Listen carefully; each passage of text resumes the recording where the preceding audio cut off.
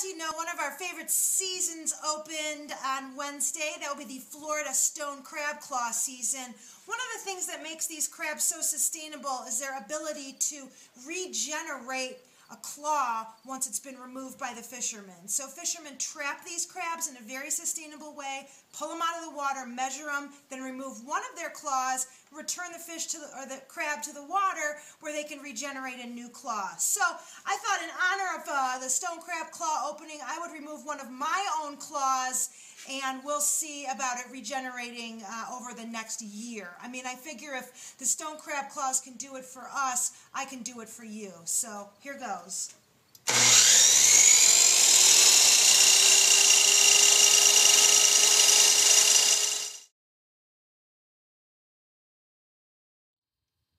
In addition to the Florida stone crab claws, we have four oh, I'm sorry, for uh, fish on special right now. Look into some of that beautiful East Coast dayboat fluke. We continue to bring that option in as a substitute for um, halibut, which has been really hard to source, so no Mexican halibut available right now, and only limited sizes on fresh Alaska halibut. So definitely a time to check out that fresh fluke, especially at these prices.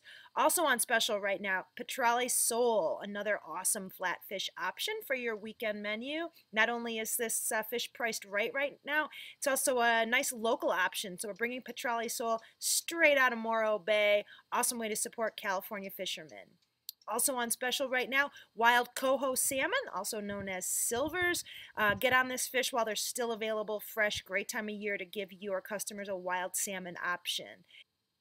And our fourth special item right now is the farmed white sea bass coming out of Baja, harvested to order, sashimi grade fish, beautiful option for the weekend, especially since we have no wild white sea bass available right now. Grouper is also incredibly tight, so it's a great time to check out that farmed white sea bass. We do have pretty good numbers on Corvina right now. That'd be another good weekend option. Looking for even more great deals? Ask your sales rep for a copy of our October Frozen Special Sheet. Lots of nice selections for your fall menu at really incredible prices. Um, and then secondly, once they harvest all the fish from the sea site, they pull up all That's Mel Carrasquillo, doing what she does best, educating our customers. You may know Mel as an expert on Skuna Bay salmon, but she's knowledgeable on all kinds of subjects and is happy to come and speak with your front of the house or back of the house staff on any number of items that we carry. Just let your Santa Monica seafood sales rep know that you're interested in setting up a training.